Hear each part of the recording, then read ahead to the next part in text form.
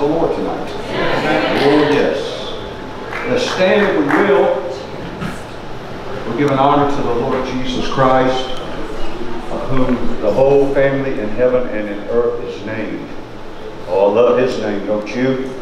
Love the name of the Lord Jesus Christ. I love to be associated with his name. I love everything about his name. The Bible says the name of the Lord is a strong tower, and the righteous can run into it and they can find safety. Blessed be the name of the Lord. Does anybody have a prayer request tonight? Anybody got a prayer request? All right. And God save everybody. Say that again. God save everybody in the world, especially that friend I work with. Yes, save everybody in the world because the Bible said it's not God's will that any perish. That's a wonderful prayer. Dave is here, but his heart's not in good shape, and neither is his blood, and that God will touch both of those things. Touch 'em up. For, for his, his blood is not staying in his body. We went back to the hospital after he got home on Saturday because of bleeding. So, um, and, and that family in Indiana, Indiana or something that lost nine members in that terrible accident. Uh, in the duck boat that sank. Oh, yes, yes, yes. That's yes. from one of our, uh, somebody had it on, Yes. was that on Facebook? There were 17 people. Yeah. 17 people died. Yeah. Sister Jewel's sister was on the boat before that one went out. They had just came in and that boat went back out. That close Yeah. for the cause. Right. God loves us and God Yeah. hears us. But God. Exactly. Awesome. Yes, sir. That's an awesome testimony right there. And let's remember the others like Yes, amen. talking. That's a tragic thing. Yes, amen. Remember the people in Hawaii, the volcano? Hawaii volcano situation, yes.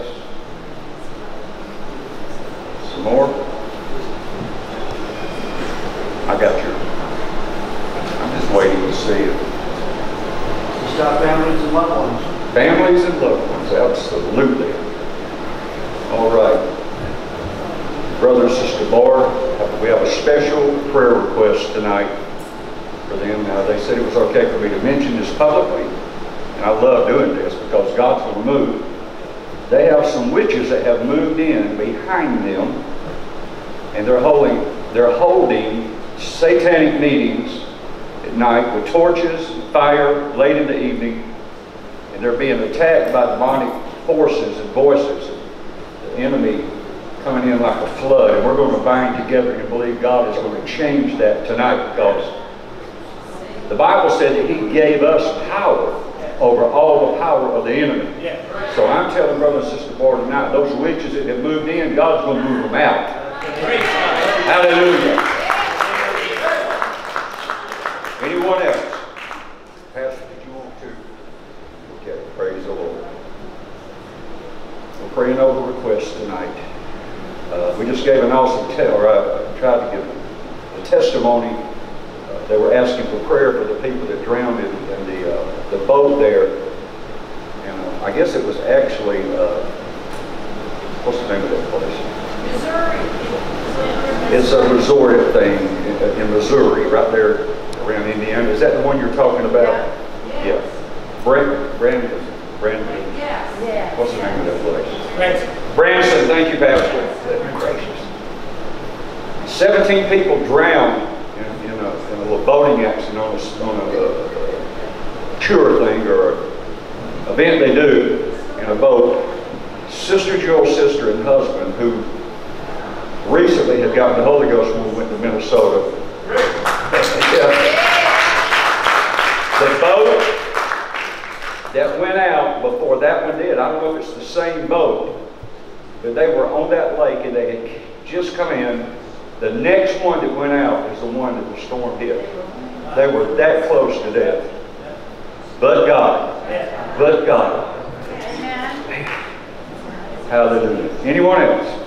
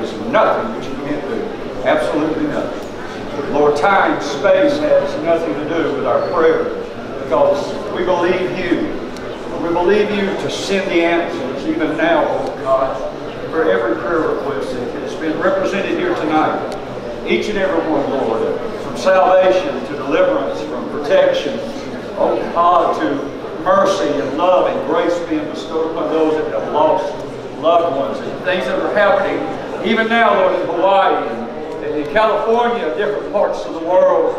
Oh God, we know that you're in control of these things. But we pray the mercy, the grace of God upon people that are lost, people, Lord, that are not in, in, in right standing with you and not in the kingdom of God, but would you show mercy and grace? Oh God, send the angel of deliverance. And Lord, we pray right now in this particular situation, Lord, with this witch thing that is going on behind Brother and Sister Bart's house, Lord. I pray, God, as we take authority and we bind the hands of the enemy, Lord, that they will quickly move out. Lord, not bother this precious couple that are living for you, that are dedicated to you, and we take authority over it. Lord, you said we could uh, speak it and it would come to pass. Lord, we cast these spirits into outer darkness. We command them to leave, Almighty God, not to bother this couple anymore. For you sent your word and healed. You sent your word and delivered it. And we speak a word of deliverance. We speak a word, uh, oh God, tonight to, to that spirit, Lord, that it would move out and move out quickly in Jesus' name. In Jesus' name. In Jesus' name. Lord, everyone that has asked for prayer tonight, we stand in the gap believing as believers and as the body of Christ that you will move by the power of your Spirit, that your anointing will go now. You'll dispatch the angels, oh God, that are needed to quickly fix and remedy every situation in Jesus' name. In the mighty name of the Lord Jesus Christ. Hallelujah. Would you clap your hands to the Lord? You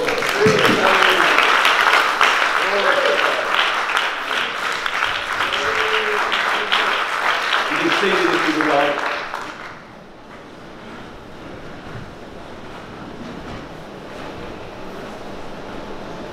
Our Bible study tonight is found in the 23rd chapter of the book of Job, first verse.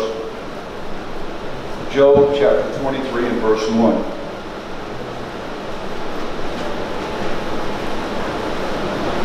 Give me just a moment to get it. We'll stand for the reading of the word of the Lord.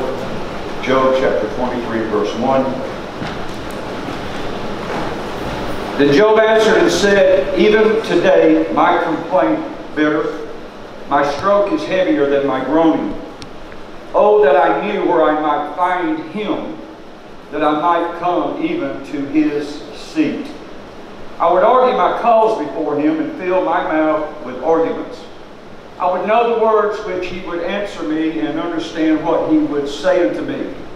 Will he plead against me with his great power? No, but he would put strength in me. There the righteous might dispute with him, so should I be delivered forever from my judge. Behold, I go forward, but he is not there, and backward, but I cannot perceive him. On the left hand where he doth work, but I cannot behold him. He hideth himself on the right hand, that I cannot see him. But he knoweth the way that I take. He knoweth, he knoweth, he knoweth the way that I take. When he hath tried me, I shall come forth as gold. Would you pray just one more time? Lord, thank you for the word. I pray tonight that it would speak to our hearts, our minds, our souls, our spirit. For it's meat unto our bones, it's life unto our flesh, oh God. And we pray that your word, Lord, that was uh, life and spirit would get in us tonight, Lord, and it would move in our lives. Oh God, we believe you for something great, something mighty, but your word does not return unto you void, for it is powerful and quick and sharper than any two-edged sword. And we thank you for that tonight in the name of Jesus. Amen. You might be seated. Praise God. Our thought tonight is this, the results, the results of reception. The results of reception. The Bible said that Jesus came to his own. His own. And his own received him not. But to as many as received him, to them gave he power to become the sons of God. I love that scripture. There's so much meat in there and so much revelation. Uh, Jesus came to his own, and, and of course we know that he was talking about his own people and the Jewish people. They didn't receive him, but as many as received him, as many as acknowledged him, as many uh, as believed on him, the Bible said they received something for this. They received something for this. Their reception of Jesus caused them to get power to become the sons of God. I want to tell you, God is doing something great and mighty in the hour that we live in. And we can all feel a stir in our soul. We can feel that, uh, that going forth over the tops of the mulberry trees, if you will. We hear the sound of the abundance of rain. We know that our God is moving and the angels of the Lord are marching and they're, they're here to help us in time of battle, in time of need. But there is only one thing that differentiates us from the world is that they don't receive Him and we do. Come on. And let me tell you, there are great benefits in receiving Jesus Christ. Yeah. There's great benefits in acknowledging Him. Hallelujah. Great benefits. Acknowledgement is a great thing. It's from the word, this is going to sound kind of crazy, but it's from the Hebrew word yada. Yada, yada, yada, yada. That's where we get that from, yada, yada, yada. It means actually to acknowledge. To acknowledge. In other words, yada, yada, yada. I'm acknowledging what you're saying, but I don't know if I believe what you're saying. See, just to hear a thing is not enough. There must be actions with what we hear. Just to say I receive it doesn't always mean that we're actually getting it in our spirit. Because it goes beyond just saying, well, I believe the Lord Jesus Christ, and I know He's able, and I know He'll heal, but just not me. He won't heal me, but He'll heal everybody else.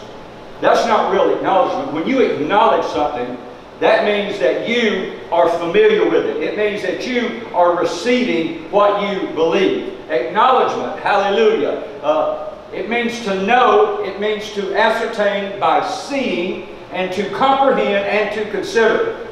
It's from an ancient uh, root word that means to perceive or to be acquainted with or to know. We get our word knowledge from the word know. Adam knew Eve. He didn't know just what she looked like. He didn't just know what her beautiful voice sounded like. He didn't just know what she liked. He knew her. He had the intimate relationship with her. And that's what God is looking for in our Yeah. time. He is looking for intimacy between us and Him. Yeah. Hallelujah. Not just to say, well, I know Him, but I'm talking about a knowing that goes beyond a mind knowledge. It goes beyond just saying something. There is a relationship between He and I that I really do know Him. I know, I don't just know about Him. I don't just know what His Word says, but He actually lives in me, and He gave me the power to become a son of God, and I believe that. I have acknowledged that, and because I acknowledge that, I have really received that in my spirit, and because I have received that in my spirit, hallelujah, I am becoming a son of God. Glory to God. Hallelujah. I feel like taking a little praise break here. Yes, amen. Jesus told the believing Jews in John 8, verse 32, he said, You shall know the truth. That don't mean you're just going to read it and get it in here. This means this word is actually so intimate and so powerful and so real that it's going to get inside you. And when it gets inside you, it's going to transform your life. And You're going to have power to become this word that I am saying. Hallelujah. Not only the words that he spoke are spirit and life, but it is God himself that inhabits that word. It is the life that gets in the word. And the more of that we acknowledge, the more of that uh, that we don't, I'm not talking about just saying, oh, I believe that. I'm talking about knowing the reality of the word of God, knowing the depth of the word of God, knowing the unsearchable riches of, of the grace and the power and the mercy of God. It will transform a life. It will cause you to hate things that you used to like. And it will cause you to like things that you used to hate. It will put you on a path of- saying, ah, I'm going to know Him. I don't want anything to keep me from this knowledge. Hallelujah. You shall know the truth, and the truth shall make you free. There is reception and acknowledgement. Acknowledgement produces reception. And the way you receive it or the way you perceive it is the way you're going to receive it because everybody does not see it the same way. For instance, the light of the body is the eye. If I ask everybody in here, you're not all going to have the same exact definition of that because we don't perceive it the same way. The real depths of the Word of God comes by the revelation of the Spirit of God, Him revealing the truth of the Word to us. When the revelation of the Word is brought to light in us, then we all can see the same exact thing. But if we have our own ideas and our own perception, then things are not going to be just exactly right. In other words, the light of the body is the eye. Does that mean the eye is the light of the body? Or does it mean that the light of the body in here is the eye? I believe that the light that lives in me is the real light. But some people think that your eye is the light of the body. It's almost a tongue twister, isn't it? Praise the Lord. You shall know the truth, and the truth shall make you free. To know something is to not acknowledge something as to be true. How do you know? How many of you know the Bible says that thy word, O Lord, is truth? Pilate standing there, or, or Jesus standing there in Pilate's judgment hall, and Jesus is not saying anything to him, and he says, Don't you know I've got power to do this and this and this? And Jesus said, You could have no power at all unless it was given you from above. And then he begins to talk about truth. Uh, and Pilate looks at him and says, What is truth? Uh. Truth is standing right in front of him. Hallelujah. Truth, the whole truth, and nothing but the truth is standing there. But he cannot perceive him. And so he can't perceive who he really is. He can't receive who he really is. See, your perception of something is going to bring about your reception of whatever you're believing or acknowledging or looking at. You love him today or tonight. John said, We know him and we know that he is true. He's not talking about just knowing him, what he looks like. He's not talking about just the man Jesus. John had an intimate relationship with Jesus Christ. He had a depth of the love of God. He understood that probably more than any other of those disciples, according to what you read. He wrote more about the love of God. He wrote more about those things uh, because, and even the Bible said that disciples who Jesus loved, speaking of John. Now, what was going on, I don't know, but I, this much I do believe that John really, really loved Jesus. He had a depth of love for him that was beyond anything probably that you and I may even think or comprehend. It was such a depth of the love of God. He loved that Word. He wrote more about the Word of God. He wrote how Jesus was the Word of God and how God, in the beginning was the Word and the Word was with God and the Word was God. He acknowledged that, but he acknowledged it because he had such a relationship with Jesus. Such a relationship, he was the only one that didn't die a horrible death, even though they tried to kill him, tried to boil him in oil, I think history says, and he wouldn't die. You see what love will really do, intimate relationship with God will do. Oh, that I might know him Paul says, that I might know him. Uh, not just knowing about him, but I want to know him. Uh, and I want to be made conformable to his death. Uh, and I want to be a partaker of the fellowship of his sufferings. Because in his suffering, Paul learned that the love of God was manifested in his life. And the power of God would manifest through him when he was weak. God was going to be strong. Do we have that same desire to know him? Or do we just want to know about him? And patty cake and have church. No. I believe men and women of are sitting right here that really know Him. And not only know Him, but want to know Him more. And are reaching for more. And are pressing for more. And saying, God, I believe I can, I can reach into the depths of your Spirit. And I believe that I can know you more in an intimate way than I've ever known you before. I desire a relationship with you. I don't want religion, but I want relationship with you. I want right relationship with you. I want your righteousness. I want your robe of righteousness on me, oh God. And I know the only way I'll have that is to really know you. Glory to God. Glory to God. Glory, Hallelujah.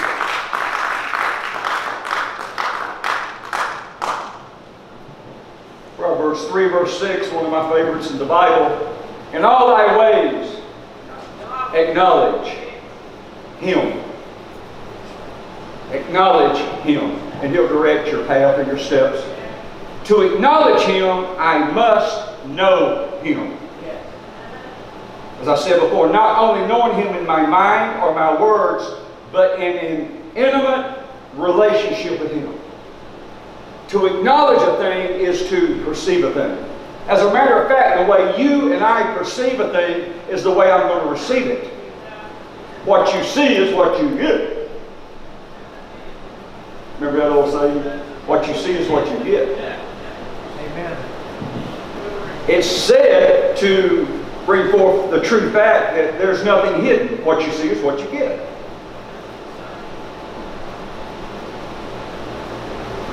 The zebra looks like a horse. But it's actually a wild animal that resembles a horse with black or brown or white stripes on it. Some people see a horse some people see a horse with lines, and then some people realize it's actually a zebra. Because they have learned by their sight exactly what animal that is. Now, if you don't have sight and you put your hands on this thing, you're going to think it's a horse. You can go over to this horse or a regular horse and do it and rub them down, and they both feel like a horse. But there's a difference in them. And the difference is because your perception determines what you're looking at. Praise God. Now, the word perceive is the same word as acknowledge. Yada, yada, yada, yada.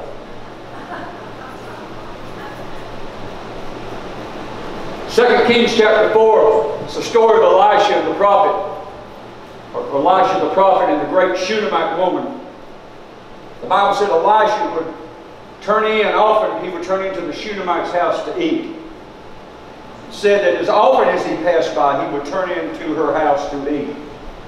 One day she said to her husband, Behold, now I perceive that this is a holy man of God, which passes by us continually.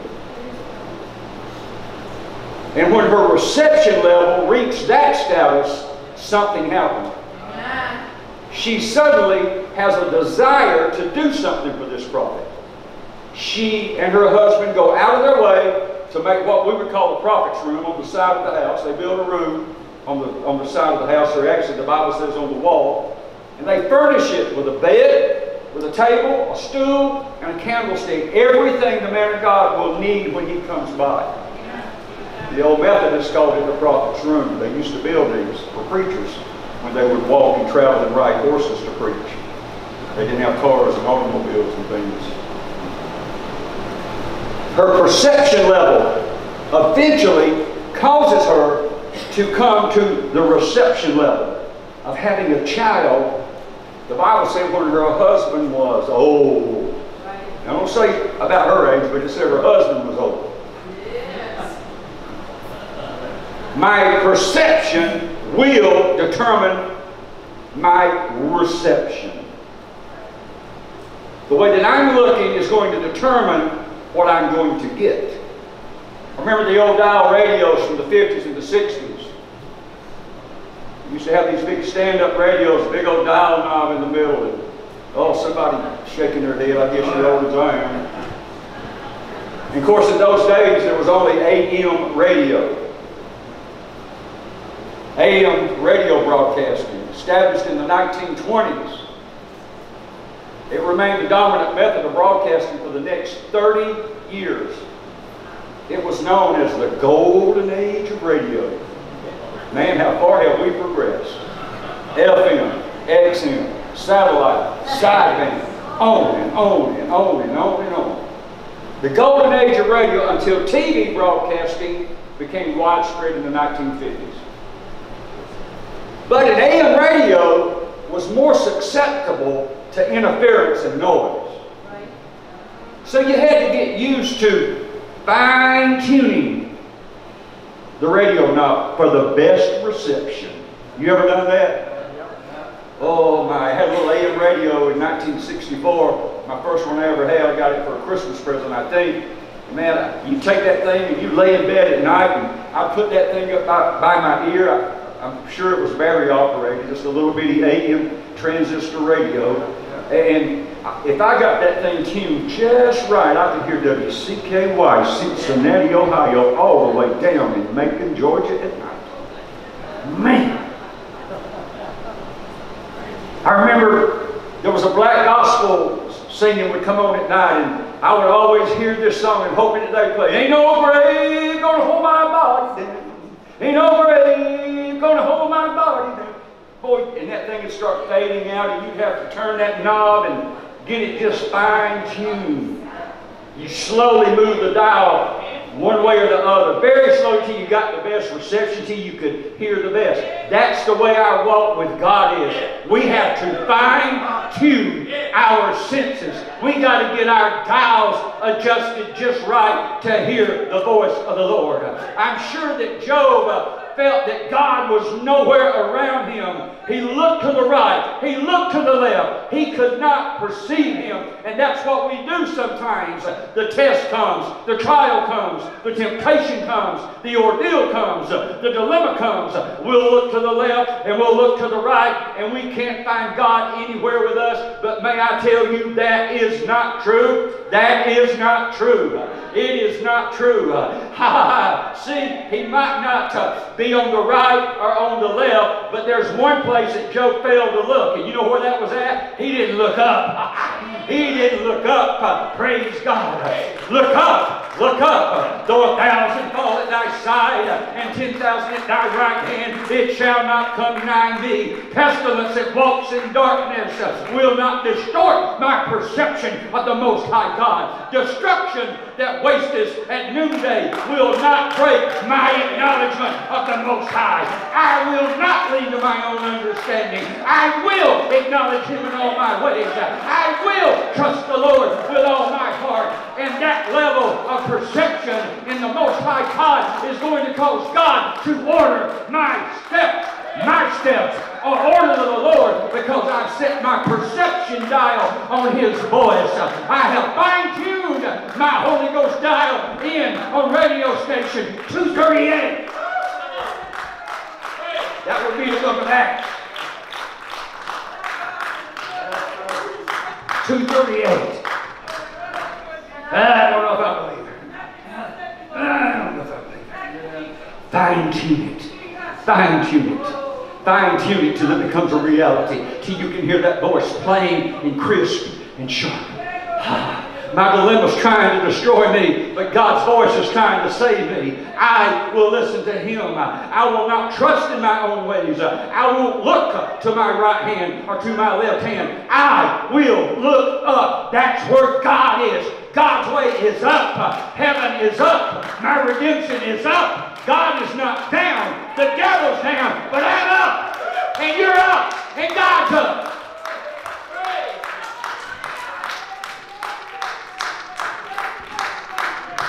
I will practice the principles of Job. Job, who suffered immensely and lost everything. When I can't find him, if I don't see him on the right hand or the left hand, there is something I can do. I can perceive through the eyes of faith. I can acknowledge that even though I don't see him, that even though I don't feel him, I will look up, for he is there, and he knoweth the way that I take. And when he has tried me, I shall come forth as gold. See, Job trusted God anyway. He couldn't find God. He couldn't see God, but he could trust God. I can't see him. I can't feel him. But this one thing I can do, I can trust him. Trust in the Lord with all your heart. Lean not to your own understanding. In all thy ways acknowledge him, and he shall direct thy paths. That's thus saith the word of God.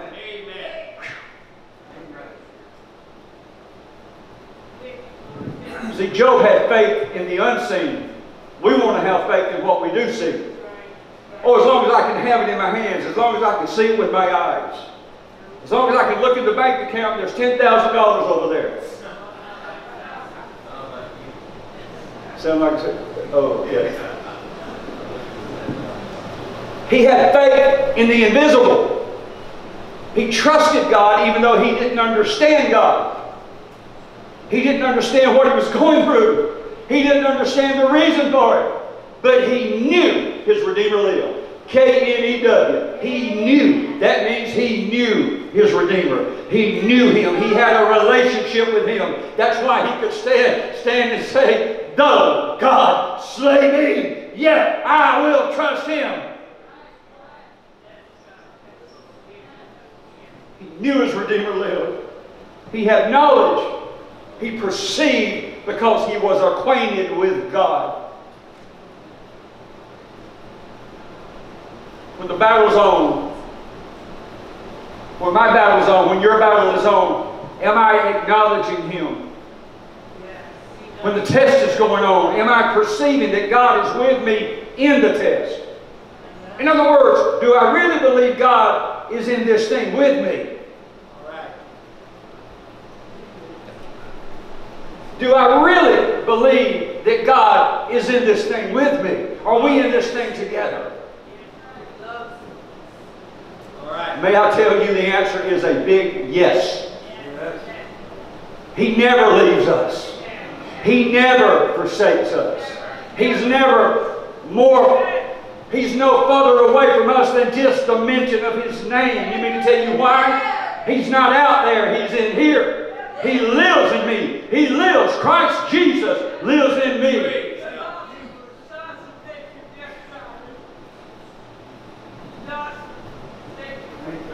Do I really believe God's in this thing with me? Maybe I don't perceive Him because I'm not acknowledging that God is with me in my trial or my test or whatever I'm going through.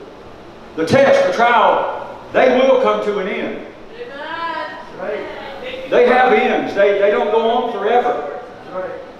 I, well, I may be saying that out of turn. Maybe unless we don't learn the lesson of the test of the trial, they might go on forever. But I found out that God's people are quick to learn. Well, I hope that was a true statement. I believe that God's people really do have the desire to learn and grow from what they have went through. That's what it's all about. God is not trying to kill us. He ain't trying to destroy us. He's not trying to hurt us. He wants the best for us. But He knows that our old stinking carcasses sometimes are going to get in the way, and there's going to be some little glitch. There's going to be some little thing, some little fox that's spoiling the vine, some little sin that does so easily beset, some way that we just don't know how to get rid of. And once we get through that and get rid of that, guess what? Ready for the next one. If we need one. I don't know what people need. I don't know what I need. I'm just saying, God, you know what I need. You know what I have need of. So you know better than I do. Whatever it is, you just help me with it. Praise the Lord. So the tester only tries to get you to the next level of God's glory.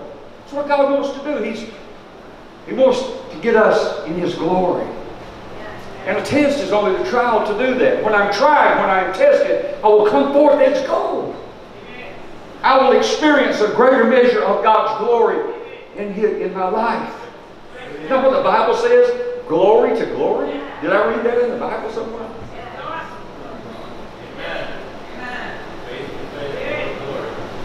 See, we're on an upward journey, folks. We're on an upward climb. We're climbing Jacob's ladder. The ladder that makes connection between heaven and earth.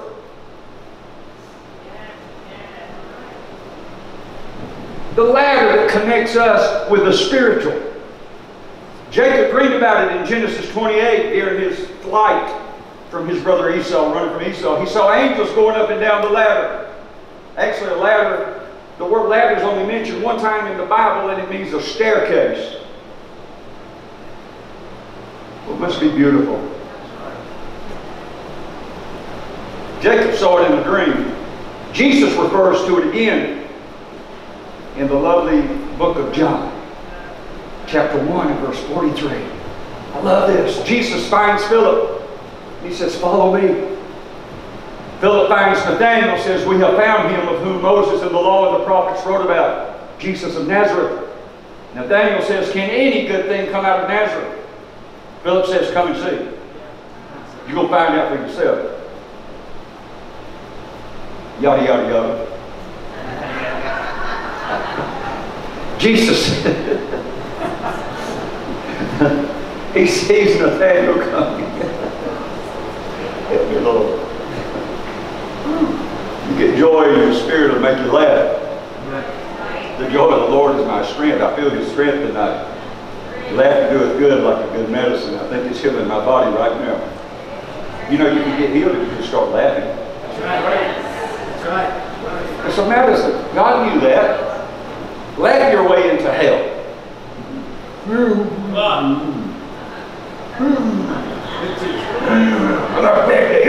Wrong me. Maybe if we just change our attitude, begin to laugh about it, God will heal us. Woo! Praise the Lord. Philip says, Come and see. Jesus sees Nathanael coming and he says, Behold an Israelite in whom is no guile. Nathanael is amazed. He says, How do you know me? Actually, the Bible said these words, Whence comest thou? Me. Or whence knowest thou me? But Jesus' perception level meter was already working. Now it's going to cause Nathanael to have a supernatural reception level. Jesus says, Before Philip called you, when you were under the fig tree, I saw you. Wait a minute, this man don't know me. He's never seen me in his life. What, what do you mean? When you were under the fig tree, I saw you. Nathaniel says, Rabbi, Rabbi, thou art the Son of God. Thou art the King of Israel. Because of what Jesus saw, perceived in Nathaniel. Jesus says, Because I said, I saw you under the fig tree, believest thou? Is that why you believe? Because I told you something about you that there was no way I could know it unless I was God in the flesh? The story gets great then. You shall see greater than that. I've come with a word for someone tonight. You shall see greater than that. What's that? Whatever that is, is that. You're going to see greater than that. You're going to see greater than the greatest thing that God has ever done in your life. Your perception level is getting ready to bring you to a reception level. Let me tell you, Nathaniel believed when Jesus spoke that. He had enough uh, uh, belief to get up and at least go hear Jesus Christ. Uh, not really knowing for sure, but uh, uh, Philip had told him, said, you come see. That meant you come check him out for yourself and see if what I'm telling you is not the truth. Uh, hallelujah. But when Jesus spoke to him uh, and read his mail, he said, Rabbi, thou art the Son of God. Thou art the King of Israel. And Jesus looks at him and he says, You believe on me, you receive me because I told you that. He said, But Nathaniel, you're going to see a lot greater than this. Get ready, get ready, because you're going to see uh, the heavens are going to open up, and you are going to see the angels of God ascending and descending on the Son of Man. Oh, what are you talking about? Nathaniel would see Jacob's ladder. Let me tell you this. You can see Jacob's ladder. There is nothing impossible to those that believe.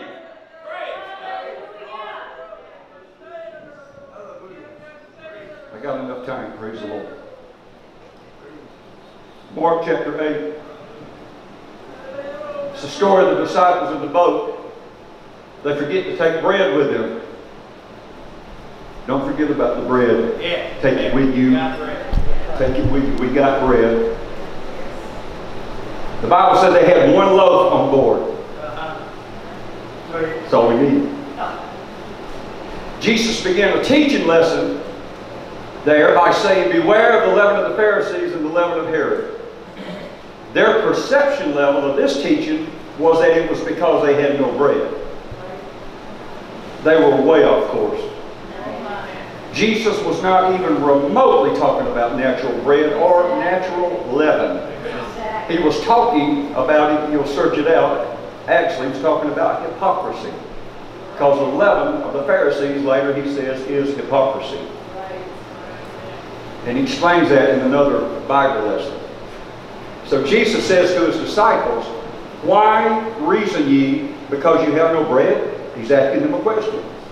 What's all this reasoning going on? What's all this discussion going on between you? Are you discussing because you don't have any bread? Perceive ye not, he says, neither understand. Have ye your heart yet hardened? Having eyes you see not, having ears you can't hear.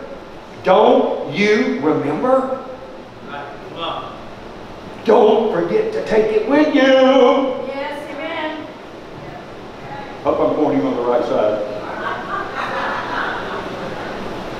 Don't forget to take it with you. They only had one loaf. Don't you yet remember? When I break the five loaves among 5,000? How much leftovers did you have? What are you doing with the leftovers? The leftovers are valuable. The fragments, actually, it's, it's leftovers. Fragments, leftover pieces. When I break them among the 5,000, how many baskets full of fragments did you take up? 12. I guess one for each one, right? That's right. Souvenir. Souvenir. I wonder where it went. What do they do with it? What are we doing with it? Are we leaving it here? Come. Oh, Lord. And then he says, when the seven among 4,000, how many fragments did you have? Seven. Jesus then asked them, how is it that you don't understand? Because they think their perception is on the natural loaf of bread, and Jesus is talking totally about something else. Amen. You see what I'm saying? The 12 there with him, they don't have a clue what he's trying to do because they can't, they can't, their perception is off. Jesus uses the word perceive here in verse 17, asking the disciples, did they perceive what he was saying? Do you perceive what I'm saying? The word perceive means to exercise the mind. It means to observe and to comprehend, to understand and to think. See, to get the real meaning of something, you've got to exercise your mind, your sen- spiritual senses. You can't just focus on one thing. You've got to diversify, if you will, the very thoughts of your mind to see what God is trying to tell us. Asking the disciples, Did you perceive what I'm saying? Sometimes you got to think outside the box. You got to get out of the natural and get into the spiritual. How do I do that? Get out of the carnal realm of thinking and get into the spiritual realm of thinking. God always operated in the spiritual realm. Jesus operated in the spiritual realm, even though he used natural stuff. It was always spiritual things he was trying to get people to see, and they just couldn't get it. You, you have to observe natural things sometimes with a spiritual perspective. Everything you see is not what you think you see. Really. Jewel and I were coming from.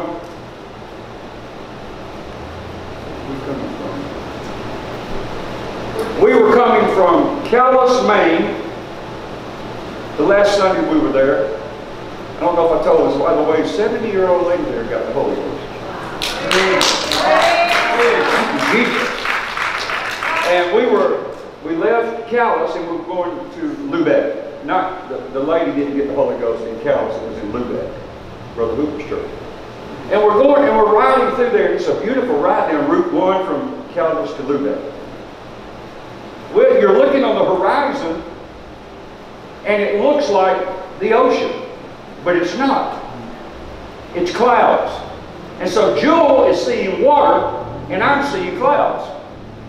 He says, no, that's the water. And then I, I look, and, and, and you get way up, and then you're going down, and then the water's way up yonder. It's an optical illusion almost.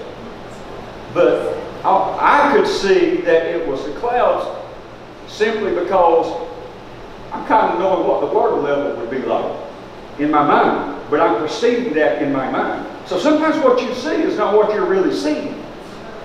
They say you can get out in the desert and get dehydrated and, and, and start seeing things. Exactly. Optical illusions. You'll see oases out there in the middle of the desert that are not there. It's because of your body and your mind, the way it's perceiving things. I want my mind to work in the spiritual realm. How about you? To be spiritually minded is life and peace. To be carnally minded is death. So everything the natural eye sees is not perceived the same way as someone else might see it. Because the mind is a marvelous thing. It's a marvelous thing. Do you know that any invention is a creation of the thoughts that operate in the invisible, invisible realm of the mind? Something that's been invented? It didn't just happen. It was a thought. It was in the mind. To create something, you must first see it in the mind's eye. To create something, you must first see it in the mind's eye because your reception level of the impossible is only determined by you. I can't do it for you. You got to realize that all things are possible if my perception of it is true. Amen. If you can believe it, you can achieve it.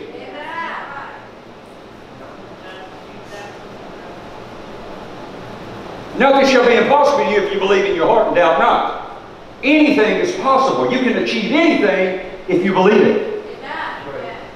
Hallelujah. Praise God. Every invention that has ever been created had to begin as a perception in my mind or in the mind. And then a plan is, in, is initiated to bring the perceived idea to an actual, actual tangible thing. I've told the story about a friend of mine that God gave a dream, and in the dream, the Lord came to my friend in a dream and showed him a, a, a thing to do to enhance the 9-11 emergency system. He went and patented it. He told me this, Joel and I personally. He patented this idea that Jesus came to him in a dream and told him how to do it, put a patent on it, went to work, and 10 years ago, he told me, he said, Gary and Jewel, I'm this close to being a millionaire. He had his fingers together. He's got crews that go all over the United States. I don't know what it is. Jesus can come to you and give you an idea. That's right. We need dreamers in this generation.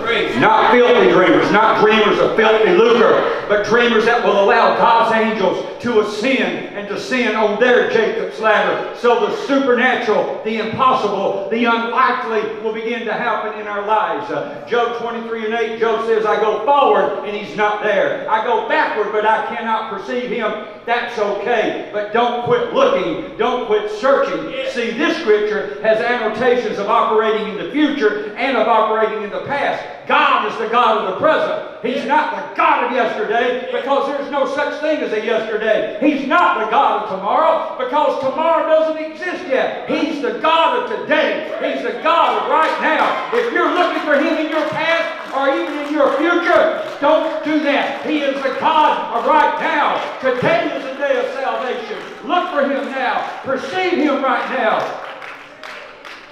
I know Jesus Christ is the same yesterday, today, and forever. Same. That means He don't change. He's not going to ever change. But that's just analogy of His supreme Godhead and power. He is the same. It means He changes not. He has always been and He will always be the supreme God, the eternal God, the everlasting God. He is God and He changes not. Would you stand with me in closing? Would we quit trying to get God to come to where we're at and let's go to where He's at? Don't look at your left hand. Don't look at your right hand. But I encourage you this day to look up. Up is God's direction.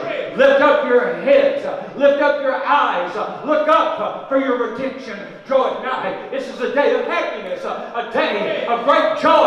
A great day uh, to be over super happy and elated in the Spirit of God because we are so close uh, to Jesus coming for us. Hallelujah.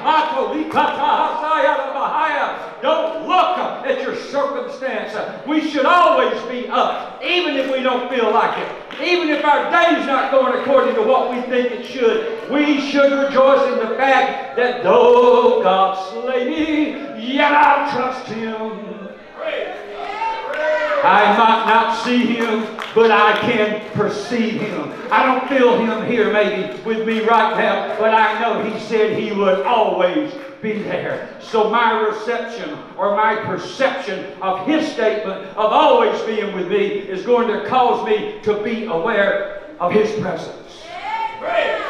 Can you acknowledge the presence of the Lord even if you don't feel like it? Even if your body's telling you something else? Even if your situation is trying to lie to you, even if your dilemma is trying to bring you and take you in a different direction, don't listen to that. Listen to what thus saith the Word of God is. He says, though uh, God slay me, yet I'll trust Him. I know my Redeemer lives. I am the head, I am not the tail. I am from above, not beneath. I am going over, I'm not going under. I'm going through it, and I'm going to get to it.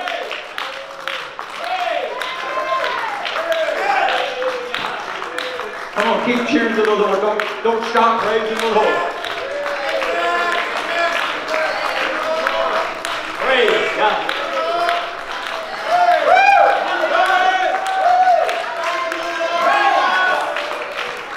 Thank you, God. Thank you. What do you see?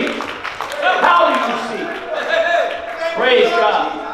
That is so true. You may be seated just for a minute. We went down to Funtown, whatever Funtown is. At my age, it was basically walking or running. Yes. I had to have run at least or walked at least 20 some miles yesterday. Oh. And the kids wanted to go to Splash Town or Splash whatever. And so today, uh, all day long, till 5 o'clock. But yesterday, what, what I wanted to tell you was yesterday, it was hot.